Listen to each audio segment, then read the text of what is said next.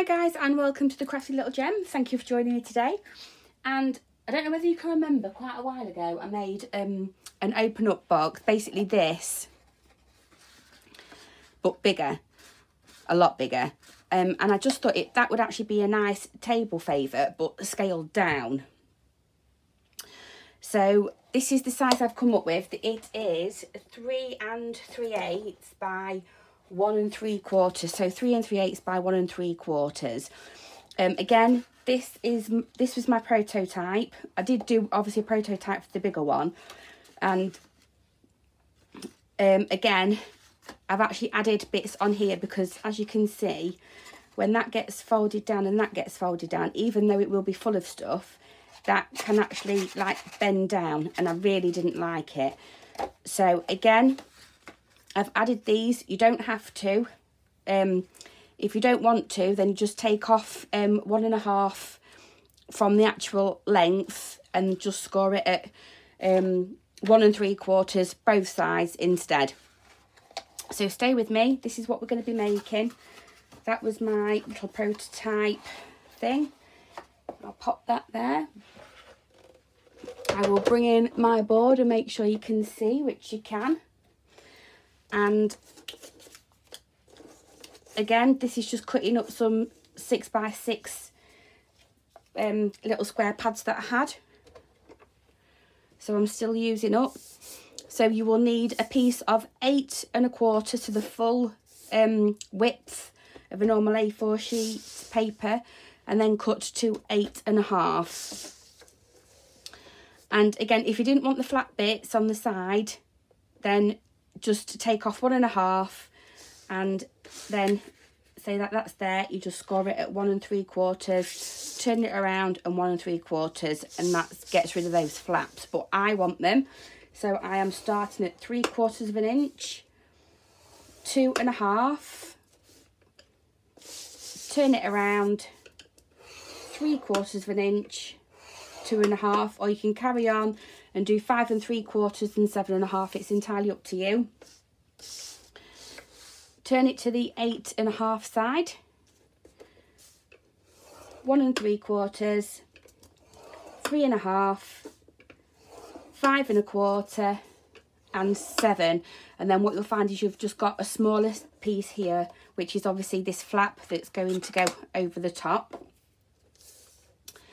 Then you just need to make some marks if you have got these sides, then you can bring them down. If not, just make a little indent. So you're coming in at two and three quarters and just bringing it down to that first score line. Six and bringing it down to that first score line. You can then turn it over and again, two and three quarters and six. They are just cutting lines, so you don't need to worry about those too much. Now, off cut from your A4 sheet, you'll just need to cut two strips that are one and just under three, one and um, one and one and well, three quarters of an inch. Sorry. On the longer side, which will be three and a quarter, score at three quarters and at two. You'll be folding one towards you and one back. You need two pieces like that. So again, one to foot towards you and one back. We can get rid of that now. I'll pop those on there to give you them in a moment.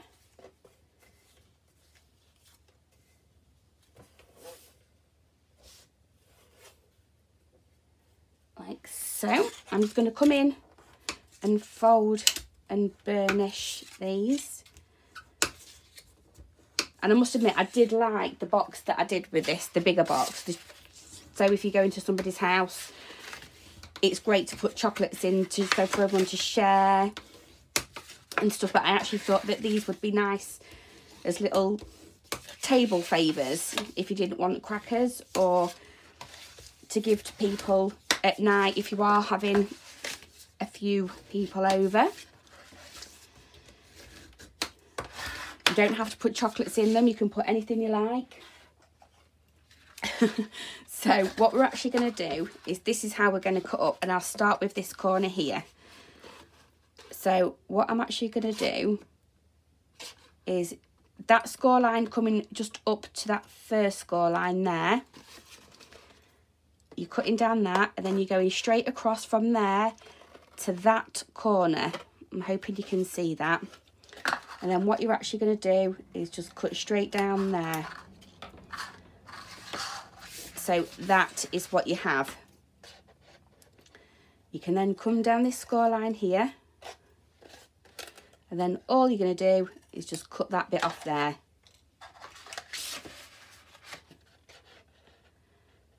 And I'll go from this side. Cut that bit off there because that is our flap. Not going to cut that bit off that yet, but I'm going to cut down that one because that is my guide. I'm going to cut it to that corner and then I'm going to cut straight down there and I can go in and cut that bit off. So that is what you will have. I'm just going to come in and neaten. Basically all I'm doing is taking that score line away and it's literally just a smidge.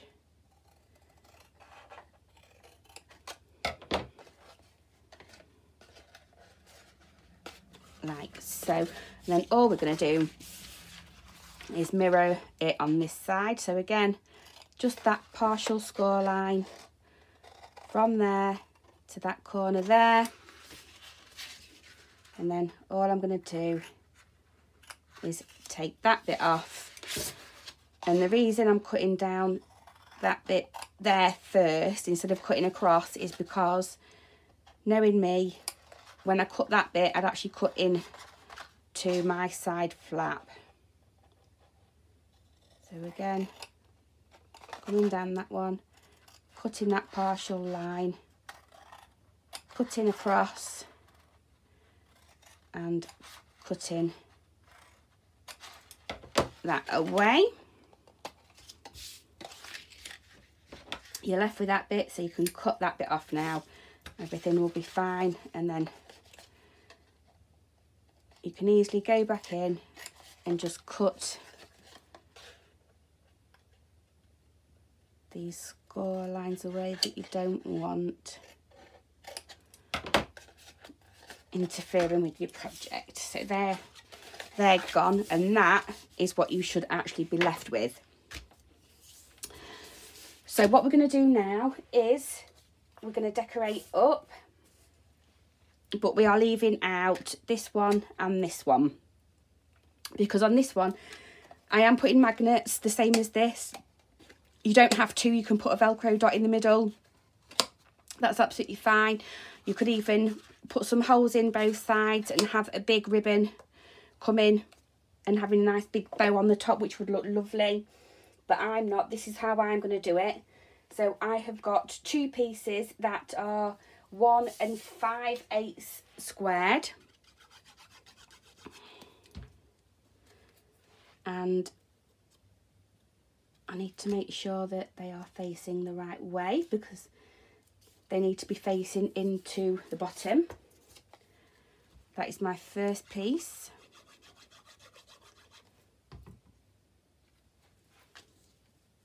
This is the second. We're then going to do these flat bits and they actually want to be coming the other way, coming in like that.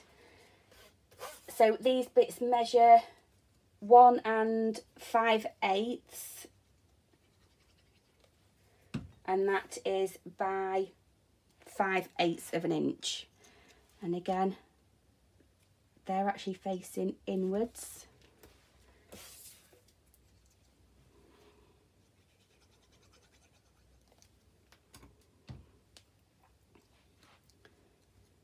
So they don't want to be going the same way as the other one. You could also round the corners on these if you wish. And then coming in with some main pieces and that is three and one eighth by one and five eighths.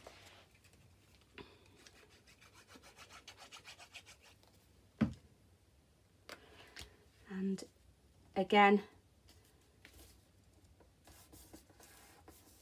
that wants to be facing into the middle. I've got four pieces that side, size, sorry. And again, you don't actually have to put one in the middle if you don't want to. It will save you on your papers. And actually I don't think I am. I think I'm going to put my other bit on the inside to cover up the magnets. So what we are going to do is with these on one of these sections doesn't matter which one you're going to put some glue and we're going to actually have that try and get it in between them score lines but right up to that score line there so if you can bend that to know that it's actually going to come in, you're fine. So you've then got that. Again, it's easier to do this bit together. Come in, line it up in between them score lines. Then once you've got it in between them, push that up and then you can push that right into that score line which is what you want.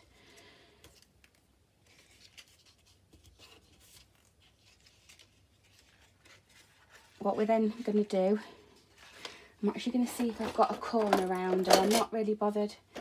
I have. I'm going to take my large corner rounder.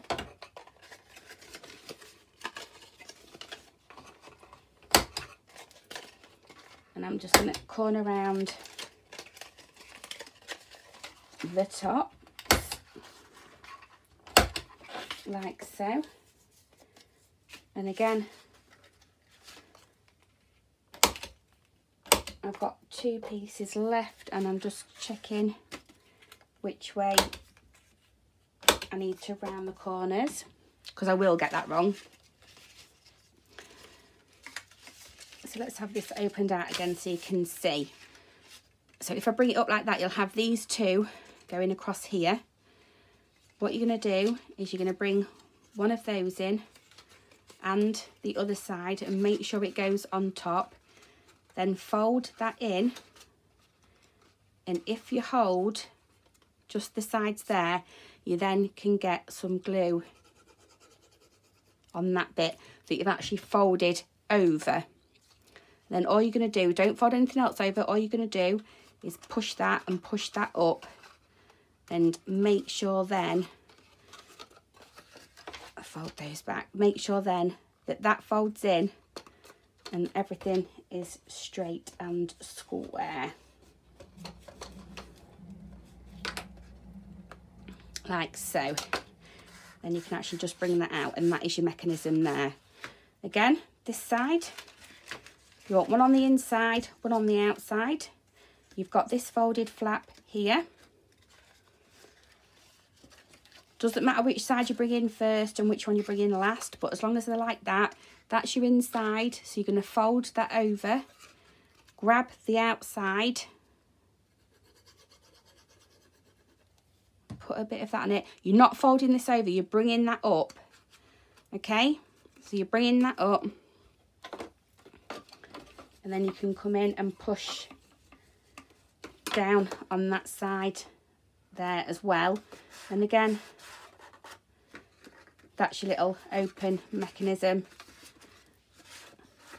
Like so, they'll fold in, then that one, and then that one. So you want it that way, your box, because the shorter bit should always be the top.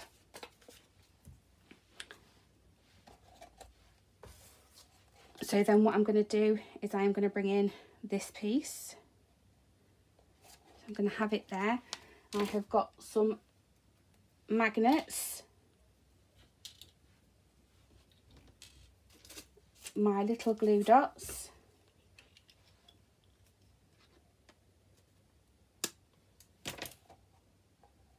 So I'm just going to put one there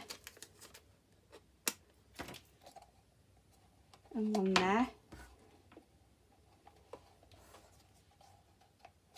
Oh, grab my magnets and put them over. glue this on top.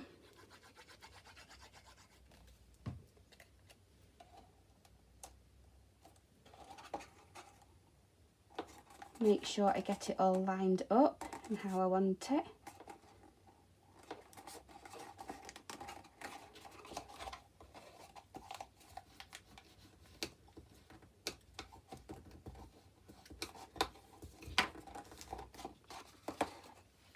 Then there's one magnet. Where is the other one gone? I shall get another one out.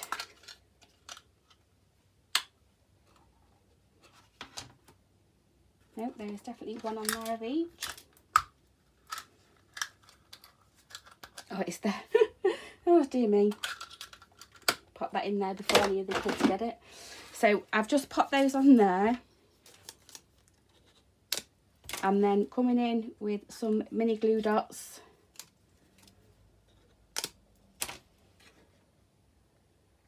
On them. You can press that then and get that all straight. And bring that down.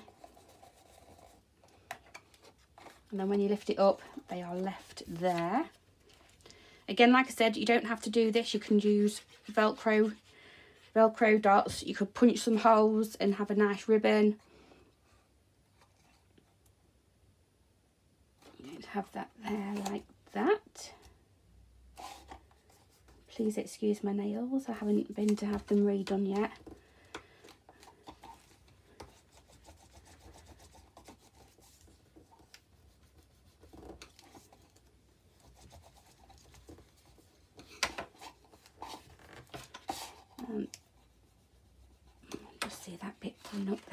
so so when that one bit goes down that go and it stays nice and closed like that. So for the other one I haven't decorated it. I am going to find a bow or something to decorate but these sides I didn't have enough of the pattern paper left. Um this one I did cut into another six by six paper so luckily enough I had two pieces of this but only one of this. So if you didn't want to put those on you don't have to. If you wanted to chomp into another bit of six by six that's entirely up to you. And then I have just gone in my cupboard because I am having a using up session. And I have found these. So I'm just going to pop one there. I'm going to pop a bit of glue on that one and pop that one there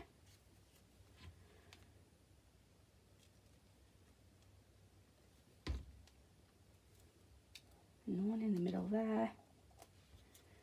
And also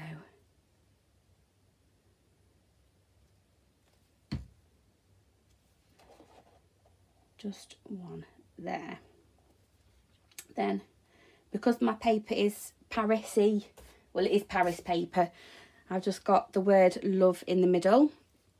Just something a bit different rather than Christmas but again you can have, I have got little Merry Christmases and things like that in there.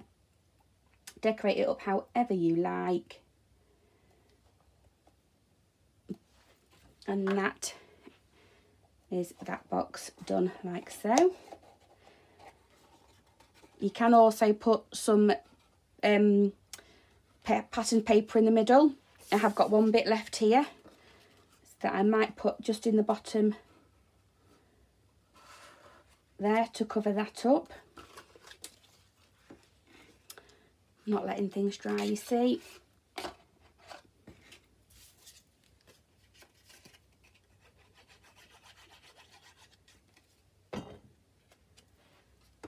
I am going to pop that in the bottom there.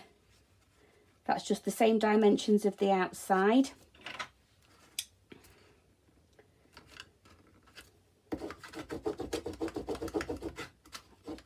Like so. Close it up, pop that on. I will put a bit more glue on this. You should all shout at me and say, leave it alone, you've done it.